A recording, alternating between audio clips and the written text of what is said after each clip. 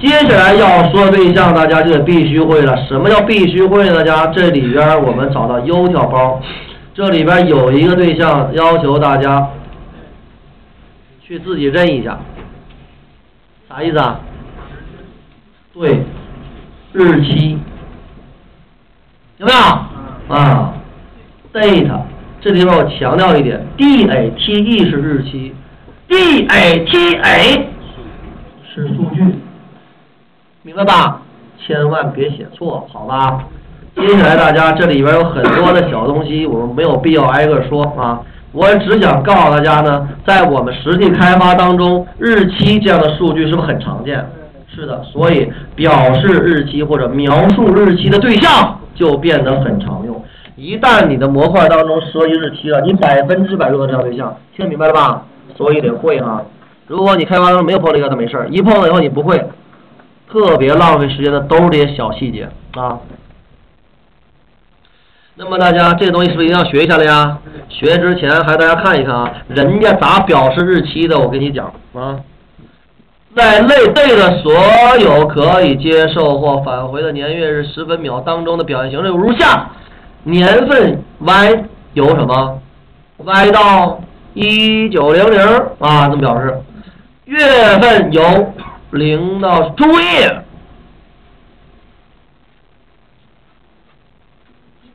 看啥了？我跟你讲，在计算机里面，月份是零到十一，零就代表我们生活中的一月，明白了家？这事儿一定要搞清楚啊！你别以为计算机里边写个四就四月，那废了都是几月？计算机里边十二代表啥？月份，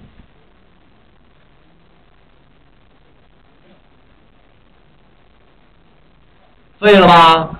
对吧？我跟你讲，十一啊就已经代表十二月了，十二啊就代表十三月，没有这意思吧？哎，这就欧了，已经疯了吧？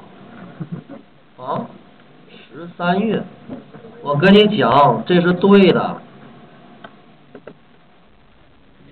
时间是连续的，那也没有十三叫法不一样。其实所谓的十三月就是下一年的一月，明白了家？这事儿一定要搞清楚啊！时间是连续走的，日期中的某一天是一到三十一，这没什么可说的哈。分钟零到五十九，这也 OK，大家是吧？不用再废话了是吧？首先，它的构造方法摘要什么弄一弄啊？哎，给力！那一共就六个，过时了四个。我喜欢这方法，有没有啊？怎么说啊？这叫做这个其实最合你们的胃口，知道吧？叫做什么呀？老师，不是我不想学，是它过时了，对不对？其实你本身也不想学，这样吧？这一个这儿一个是不是啊有俩对象，那一个是 data，一个是还能传一个浪形的值，是吗？这浪形值是谁呢？这浪形值就是我们说的什么样啊？是毫秒数啊！哎，行了，大家注意往这看啊。今儿咱这演示演示 data，要求这里边讲的东西必须得会了啊。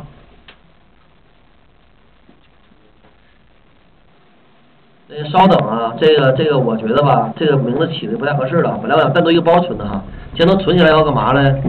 就全都这一个包存吧，好吧？名字改就得了啊。就其他 API 嘛，能明白吧？这里边接着弄一个谁呀？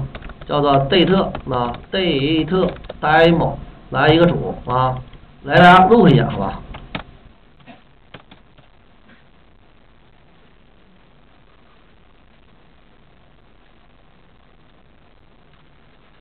我先写一个这个，大家都知道是吧？因为是个时间了嘛，明白了吧？这时间谁呀？sys 特姆嘛，大家点谁？current time 米离子。看啊，这都懂吗？这个，复制，这懂吧？这是当前时间的毫秒值啊。接下来呢，老师写上一个 date 来演示这个 date 对象。就等于我就来一个这个 new 一个 date 有没有？括弧，我一个导包，注意听，这个包有俩，千万别瞎导啊！就这个类有俩，一个在 Circle 包里边，一个在 U 特包里边，明白吧？你得导 U 特的，因为你用不上，你目前为止用不上数据库里边的日期对象。那完成一下，OK。导完以后啊，老师不多说，为啥呀？直接打印一下日期，我看什么样的是吧？难道这是哈希值吗？那我觉得不能。为什么？日期应该有自己对应的字符串表现形式，否则你打哈希值立刻就怂掉。大家，我们走一遍，注意看哈，这里边我们先不要打这个。那我走你，有吧？一个复制到这里边来，大家一个粘，就这么回事。这能看懂吗？看不懂啊？二零一二年有没有？这是什么意思啊？星期日什么意思啊？还行哈。我带你们弄一个吧？说老师，刚才我看着还有个函数带参数的，date 啊，你注意看啊，等于 new 一个 date，的斜线。这里边你不说再猜出是毫秒值吗？对吧？浪形的吗？我把这个不不不不传这个了啊，我传这个，大家这是我写的毫秒值，对不对？来注意听啊，这这个不是一 啊，我把这 day 二再打印一下，看着啊，结果是为啥？你得清楚，咔一个洞啊，这是不一样吗？不一样，大家。我跟你讲，这个是当前时间，刚才四十八分，现在是不是四十九分？这个是刚才我获取的时间，明白了吧？哎，也就是说，如果你这么拗对象的话，大家，它获取的是什么？对，就是将当一行当前日期和时间封装成 date 对象，而这个知道什么意思吗？叫做。将指定毫秒值封装成 date 对象。大家，你有没有注意到，刚才我们看毫秒值是不是看不懂啊？什么玩意儿啊？可是当我们研究对象以后，大家看，这是不是开始看得懂了呀？我可以把任意一个毫秒值都封装成对象。大家，刚才我们讲 c t m 类的时候，是不是有一个毫秒值来着？我把它也给你们封装一遍，大家上眼了哈。这里边呢，我们改个值，改成它，我们爽一下，L 一下，大家再看，是不是刚才我九点五十八获取的时间？有了？啊，简单到不行哈，就这么回事明白了家？哎，不，这是我将指定毫秒值封装的，听明白了吗？啊？这是当前的吗？是吧？这 O 了吧？哎，O 了啊！那么到这儿呢，我们就要有一些可以用于转换的动作了啊！什么动作呢？原来我可以将已有的毫秒值封装成一个日期对象，这么一打印，我是不是知道它到底这个毫秒值代表的是几年几月几日几分几十几秒啊？是的，啊，接下来我们要说的一个问题了，就是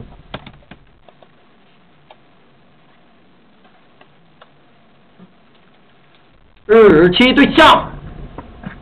和毫秒值之间的转换。首先，日期对象转不不不，先说这个毫秒值啊，转成日期对象。注意啊，这个记住了啊，日期对象通过什么？你可以通过什么？哎，可以通过 date 对象的啥？date 对象的构造方法完成啊。这个表示方式就是 new 一个 date，有没有？来一个叫 time o 啊不写这个 time minutes 叫做毫秒值。OK。那么接下来大家我们想到说，老师，我们能不能用这个日期对象转成毫秒值呢？日期对象给它转成。毫秒值呢，是吧？那么构造还是完成不了了，是吧？这样完参数完以后，是不是找方法去？对，找方法。哎，我问一下，哎，如果一个日期对象能转成毫秒值，你认为这个有这样的方法的话，这方法的返回值什么样？浪吗？很浪。接下来有没有参数？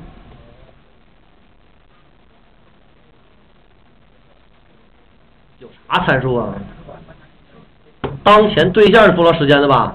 我一个方法访问值就完事儿了吧？我什么都不需要传，找吧。有没有浪浪浪浪浪该？太给力了，一点悬念都没有。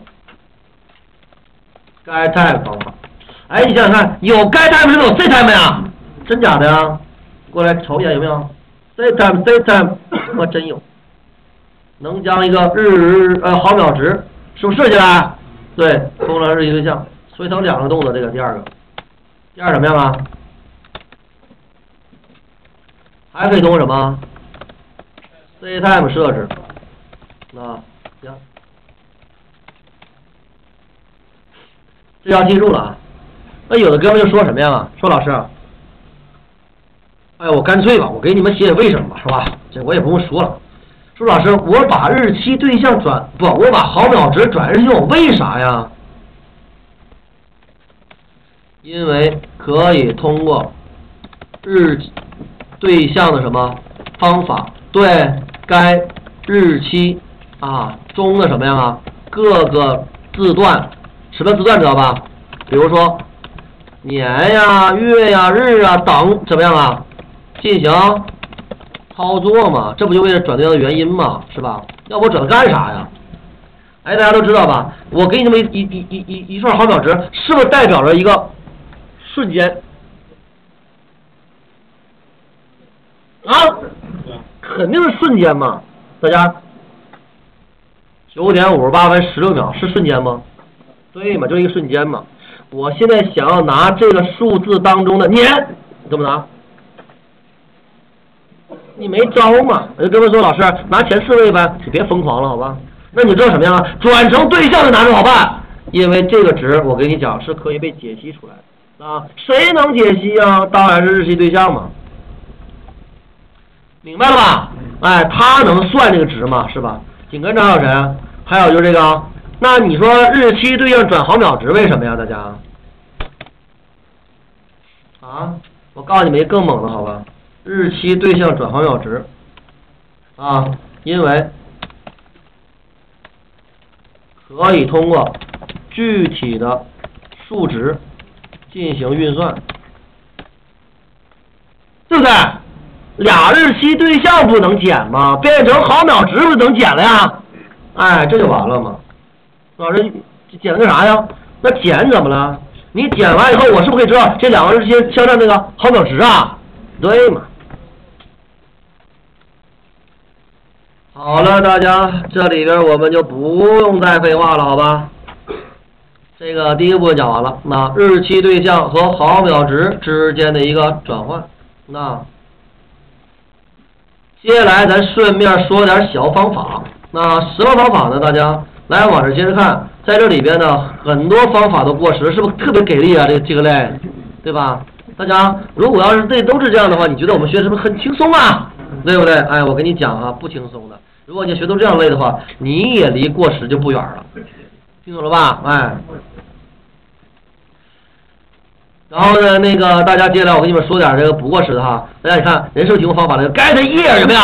我直接能拿到日期本年，我跟你讲，我就问现在多少呃什什么什么年月了呀？是吧？这个二零一一有了吧？啊，那几月份了呀？十二月，妥了，到时候了吧？哎，就我说这笑很冷是这样吗？我现在废了我。好，拉倒吧，继续看吧，好吧？太太伤自尊了。接下来啊，这个除了这以外，大家我不用再废话了，对吧？那说老师还有不过时的，讲一讲啊。哎，对，就讲的不过时的啊。首先我们看一下这个啊，after。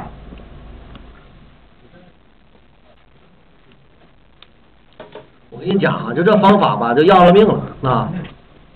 你这是这方法啥意思吧？就是啊，我有一个日期对象，明白没有？我和另外一个日期对象吧，我俩比，你明白吧？就是测试啊，此日期对象当前这个吧，是不是在这个指定日期对象之后？这明白吧？这个，哇，简单的不行了。就啥意思？哎，你说四月一号是不是在那个三月三十一号之后啊？是这样吧？那就完事儿了嘛。行着，before 啥意思啊？之前没什么可说的是吧？大家这有一个叫 equal 是什么意思啊？俩日期相等不？明白吧？哎，其实我跟你讲，用了一个方法全搞定，废什么话呢？大家，日期是不是具备比较性？对不对？哎呀，我跟你讲，日期比较，你说还能比啥吧？是吧？哎，说四月一号大，四月四号大。哎呀，四月一号大，为啥呀？愚人节吗？不是，怎么我这就这么冷吗？现在是啊？啊？哎，有的地儿，别逗了啊！我跟你讲，compare to 大家比完了以后，不就是说？要么大，要么小，要么相等吗，对吧？哎，所以我跟你讲，跟这是不是一样的呀？只不过哪儿不一样呢？这个返回的是正负零，这个返回什么？